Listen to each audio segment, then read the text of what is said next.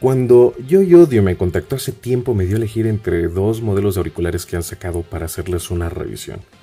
Ya una gran parte de ustedes sabrán que a mí me agradan los diseños elegantes y sobrios, pero también de vez en cuando, que es muy seguido, tengo predilección por aquellas rarezas poco fáciles de comprender, porque simple y sencillamente a mí me gustan las cosas diferentes, tal como Blona 8, Blon Mini, CCA Acustion HS1750CU y por supuesto Shosi Black Hole. Y con lo que están viendo en pantalla ya sabrán entonces por cuál modelo decanté. Aunque para serles sincero creí que estos audífonos serían más pequeños porque así se ven en fotos y cuando llegaron, madre mía, son inmensos. Sí, ya sé que su apariencia es muy particular. Déjenme saber en la caja de comentarios qué apariencia le dan ustedes, qué nombre le pueden dar ustedes. Para mí, son pequeñas tostadoras y habría sido oportunamente gracioso si su firma de sonido también hiciera alusión a ello. Pero claro, de eso hablaré más adelante. Como dije, tenemos a los BZ10 gracias a Joy Audio, quienes nos enviaron estos audífonos para fines de este video. Si estás interesado en ellos luego de lo que diré a lo largo de toda esta revisión o quieres echarle un vistazo a lo demás que la marca puede ofrecer, te dejo links en la descripción. El consejo de siempre y que hago hincapié en ello. Te sugiero ver todo el video, ya que hay puntos muy importantes que decir sobre este audífono. Igualmente en la descripción encontrarás enlaces a mi Instagram donde estoy dando actualizaciones sobre mi top personal, describiendo los motivos por los cuales considero ciertos audífonos en dicho puesto. O bien, si quieres conocer toda la tabla, te dejo un link en un drive para que tengas acceso al archivo el cual lo mantengo actualizado.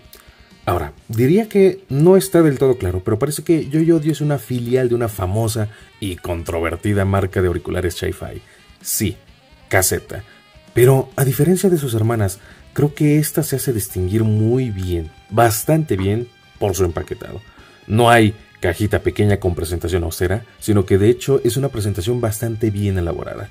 Se nota desde la cubierta principal con la imagen del audífono y aún más con la caja contenedora del producto, el cual es de un material muy resistente, el cual tiene grabado el emblema de la marca y para abrirse tiene un sistema de imantado. Al abrirla te encuentras con un sobre con serigrafía perdón, de la marca y dentro de este encontrarás el manual de introducción. Detalle que llamó bastante mi atención es que es un manual grande, ya que está escrito en distintos idiomas, incluyendo el español, aunque, y aquí lo señalo como un punto de mejora, no vienen las instrucciones de los switches que tiene el audífono. Vaya, es su principal atractivo, es con lo que la marca se dice destacar por encima de otros audífonos que tienen switches pero no incluye cuáles son los cambios dentro de su manual o en otra parte del empaquetado. Sugeriría que esa información estuviera ahí. Esa información sí la puedes obtener en la infografía del audífono en las tiendas donde lo venden, pero creo que el chiste es que eso ya debe de venir dentro de la caja. En fin, retirando ese sobre nos encontramos con una división de compartimentos. En uno se encuentran los audífonos y en otro en una placa de plástico que organiza las puntas, ya hablaremos de ellas. En otro una cajita donde viene el case. Accesorio que tal vez algunos de ustedes están familiarizados con el diseño de este case ya que es parecido o bien el mismo que incluía Duno en sus audífonos de mayor gama, aunque aquí no encontramos troquelado distintivo de la marca. El case es muy bueno, resistente, práctico de llevar a todos lados, con espacio más que suficiente para alojar los audífonos para protegerlos sin problema. Dentro del mismo incluye un cable de entramado de 8 núcleos, construcción sencilla, nada que destacar aquí, y en su parte proximal es de conexión tipo QDC. Al comprarlo puedes elegir si el cable viene con micrófono o no. De igual forma, tenemos dentro de este case una pequeña herramienta que nos ayuda a cambiar o modificar los switches. Ahora, regresando a las puntas, su construcción es buena, unas de color blanco y otras que simulan un diseño en espiral por dentro. Creo que en este sentido no quedan a deber pero funcionalmente y a mi consideración no le ayudan a este audífono. Yo recomendaría usar unas puntas que generen un mayor efecto de resonador de Hellhounds, ya que ambos sets son puntas que apenas si dejan un leve borde entre la boquilla del audífono y el ras de la punta. Eso hace el sonido más delgado de lo que de por sí ya es. Claro, si a ti te gusta ese perfil, adelante, pero no es uno que yo recomiendo. Mi sugerencia es esa, que cambien de puntas. Es más, las puntas estrelladas clásicas de caseta le van mejor, le ayudan mejor al sonido. En mi caso yo estoy usando unas Spinfit de tamaño pequeño. Y ya que lo estoy mencionando, uso estas puntas ya que además de beneficiar al sonido en lugar de las que traen de stock, son audífonos inmensos. Mis Moondrop S8 o mis Unique Melody 3DT, que eran los más grandes que tenía hasta ese momento, quedan pequeños al lado de ellos. No solo su placa frontal, si lo ves desde su lateral notarás que es muy prominente. La placa frontal es la que le da esa particular apariencia que está hecha de metal. Tiene ese distintivo de la marca, así como las rejillas que además de hacerlo semiabierto, funcionan como una especie de ventosa para ayudar a liberar la presión del aire. Y en verdad, es un alivio que esto exista, y ya diré por qué. El resto del cuerpo del audífono está hecho en acrílico muy bien terminado, sin salientes extras, algo que también agradezco luego del tamaño que tiene que en verdad no veo necesario añadir más. La boquilla es del mismo material que el resto del cuerpo del audífono, está cubierta por una pequeña malla, em, su extensión y anchura es adecuada. La cuestión es que esa robustez que tiene el audífono puede hacer que sea un auricular poco cómodo para oídos pequeños o incluso medianos. En la parte superior contamos con uno de los paneles de switches y sí, lo estás escuchando bien, un panel ya que este audífono cuenta con otro en la parte lateral trasera. Ambos tienen cuatro interruptores. El primero en la parte superior se encarga de la respuesta general del audífono. Al activarlo obtendrás una ganancia de 2 decibelios de forma general, aumento considerable de volumen.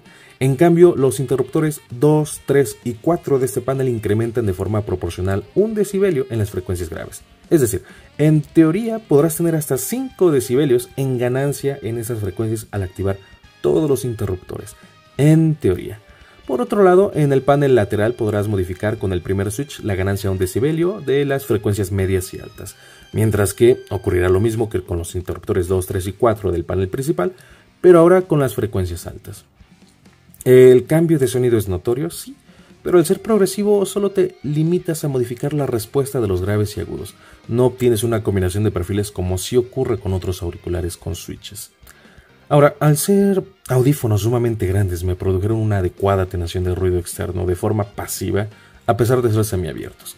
Sin embargo, por esa misma razón, están muy lejos de ser los audífonos más cómodos que he probado al ser muy robustos en su zona interna, generan presión tanto en el canal auditivo como en el borde que demarca la cimba del oído. Y luego de 25-30 minutos cuando mucho, me generó incomodidad. Por ello, para nada, para nada lo recomendaría para oídos pequeños o medianos. Tal vez en oídos grandes la experiencia sea mejor, pero sí, es un poco complicado tener sesiones largas con este audífono. Las pruebas que realicé con ellos para descubrir su sonido estuvieron pausadas por esta misma razón. Sobre las especificaciones técnicas nos encontramos con un audífono con una impedancia de 12 a 32 ohms, un rango muy amplio causado precisamente por el cambio producido en el switch que mencioné previamente, además de una sensibilidad de 108 más menos 3 decibelios. Estas características hacen a este audífono sumamente eficiente sin importar el escenario de escucha. No te preocupes en conseguir una fuente potente, realmente no va a escalar sobre ello, no va a mejorar en este sentido. Puedes conectarlo a cualquier dispositivo, ya sea un celular o un dongle DAC o un DAC básico, y ya tendrás el resultado que quieras. Este es un audífono híbrido debido a que cuenta con un driver dinámico de 7 milímetros de diámetro dedicado a las frecuencias graves y cuatro drivers de armadura balanceada dedicados a las frecuencias medias y altas. Varios híbridos ya han presentado su participación aquí en el canal. Veamos qué es lo que Yo y Odio puede ofrecer con los BZ10. Inicio describiendo una característica. La escena sonora es sumamente amplia. Dances with Wood de Sikiru Adepohu, excelente para evaluar el soundstage, muestra una gran cantidad de percusiones en los BZ10 y se perciben bastante lejanas al centro. De igual manera guarda buen sentido de profundidad e incluso altura. Situación que sorprende al escuchar un audífono en este, en este rango de precio precisamente.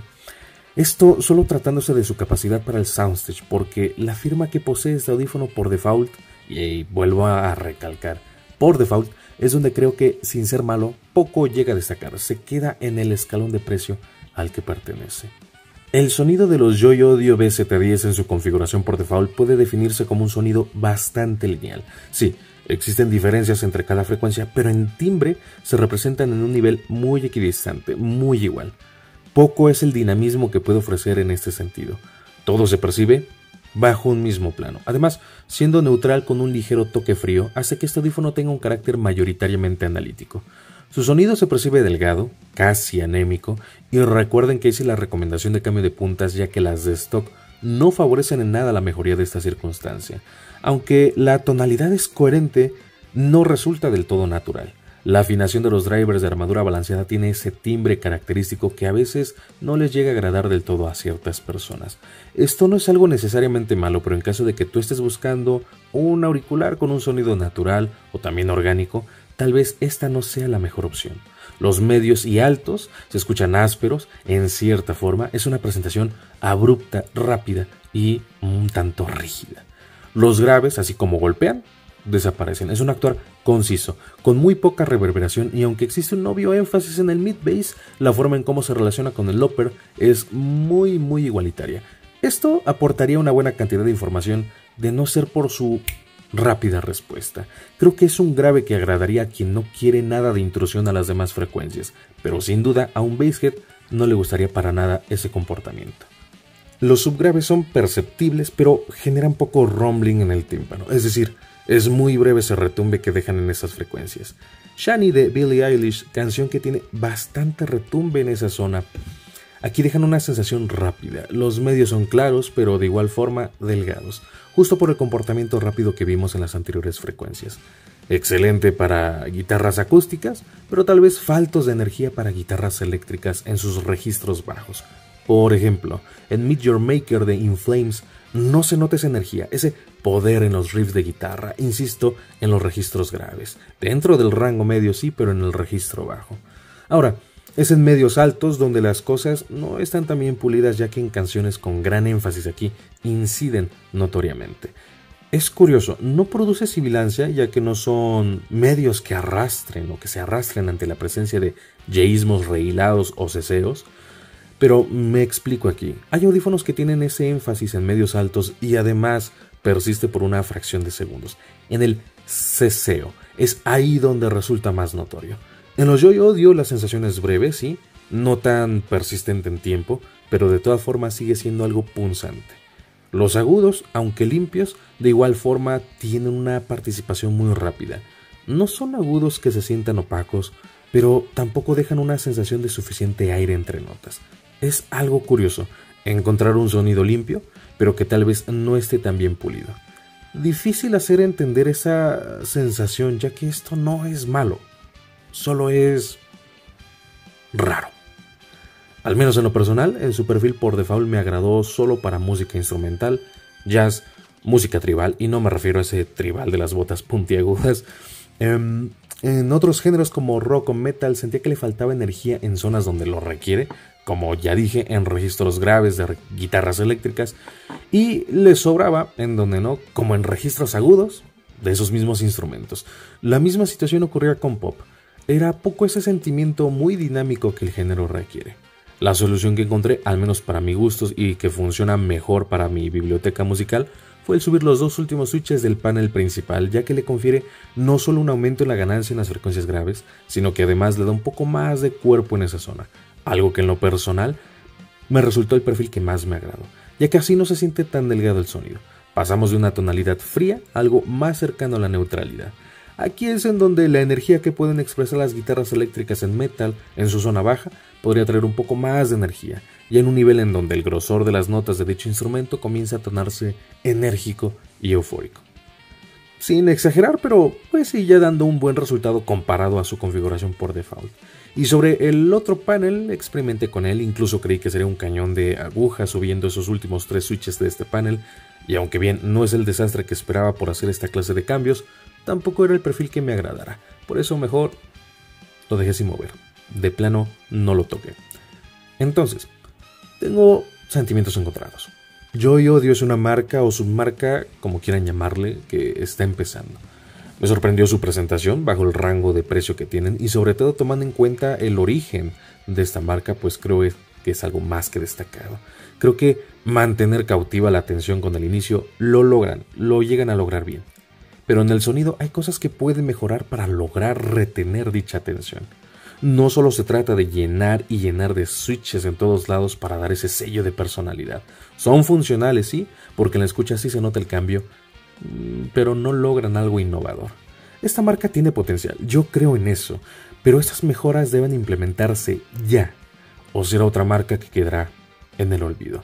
No sé si yo y Odio tomen en cuenta esto que estoy diciendo, puede que no le agrade que sea la última vez que exista el contacto con la marca con el canal, pero es importante decir esto. Ya están viendo en pantalla el lugar en donde posiciono a estos grandulones en mi top personal. Y aunque bien podría parecer que mis comentarios auguraban un lugar más abajo, no fue así. Tienen buena capacidad en el rango de precio en el que están. Lo que pasa es que no van más allá. Y otros de menor precio sí van más allá. Eso es lo que sucede. Salvo excepciones, que ya he mostrado en el canal, creo que tiene algunos errores que ciertos auriculares en su propio rango de precio llegan a tener. Hay puntos que considero que están bien, pero hay que hacer más en este mundo que se está llenando de cosas muy interesantes. Ya salieron del esquema de la presentación casetosa al entregar una experiencia diferente. Bueno, ahora toca mejorar el sonido. Si lo hacen, podrían destetarse fácilmente de su nodriza. Bien, llegamos al final de este video. Agradeciendo su apoyo, estimada audiencia, completamente, realmente se aprecia bastante. No olviden de seguirme en Instagram, el link está en la descripción. Disfruten de su música, disfruten de este diverso y maravilloso mundo. Y si la vida no los permite, nos vemos en la próxima.